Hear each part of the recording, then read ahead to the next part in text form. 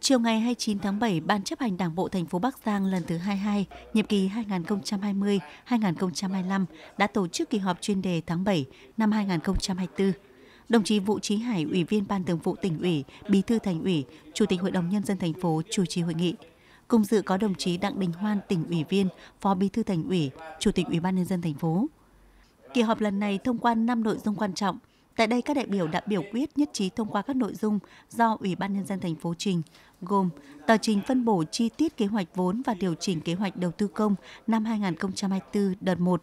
tờ trình về việc phân bổ chi tiết một số nhiệm vụ chi đã giao dự toán tại nghị quyết số 19 ngày 15 tháng 12 năm 2023 của Hội đồng Nhân dân thành phố khóa 22, kỳ họp thứ 10 về dự toán thu chi và phân bổ ngân sách nhà nước thành phố Bắc Giang năm 2024 đợt 3 tờ trình điều chỉnh chủ trương đầu tư và điều chỉnh thời gian một số dự án trong kế hoạch đầu tư công trung hạn năm 2021-2025. Tiếp đó, các đại biểu đã thông qua kế hoạch Đại hội Đảng các cấp thành phố Bắc Giang nhiệm kỳ 2025-2030. Kế hoạch nêu rõ, Đại hội Đảng các cấp thực hiện 4 nội dung. Tổng kết thực hiện nghị quyết Đại hội Đảng bộ tri bộ nhiệm kỳ 2020-2025 và xác định phương hướng, mục tiêu, nhiệm vụ, giải pháp của nhiệm kỳ 2025-2030 thảo luận đóng góp ý kiến vào dự thảo các văn kiện đại hội 14 của Đảng và văn kiện đại hội Đảng bộ cấp trên trực tiếp, bầu ban chấp hành Đảng bộ tri bộ nhiệm kỳ 2025-2030, bầu đoàn đại biểu dự đại hội Đảng bộ cấp trên –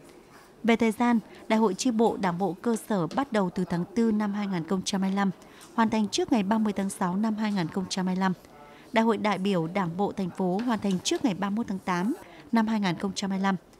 Về đại hội điểm, Thành ủy lựa chọn Đảng bộ phường Đa Mai tổ chức đại hội điểm cấp cơ sở để rút kinh nghiệm, chỉ đạo chung. Hoàn thành trong đầu quý 1 năm 2025,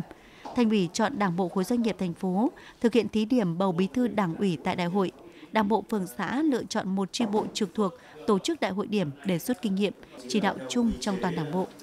Kết luận nội dung này, đồng chí Vũ Trí Hải, Ủy viên Ban Thường vụ tỉnh ủy, Bí thư Thành ủy, Chủ tịch Hội đồng nhân dân thành phố đề nghị các đơn vị chủ động tập trung cao cho công tác chuẩn bị cho đại hội, giao ban tổ chức thành ủy phối hợp với văn phòng thành ủy ra soát lại các nội dung, hoàn chỉnh kế hoạch đại hội đảng các cấp thành phố Bắc Giang nhiệm kỳ 2025-2030 cấp ủy các chi đảng bộ cơ sở xây dựng kế hoạch tổ chức đại hội ở cấp mình, xong trong tháng 8 năm 2024. Cũng tại kỳ họp lần này, các đại biểu đã nhất trí thông qua quy định về việc thăm hỏi, hỗ trợ khó khăn và tổ chức lễ tang đối với đảng viên trong Đảng bộ thành phố Bắc Giang, sửa đổi bổ sung.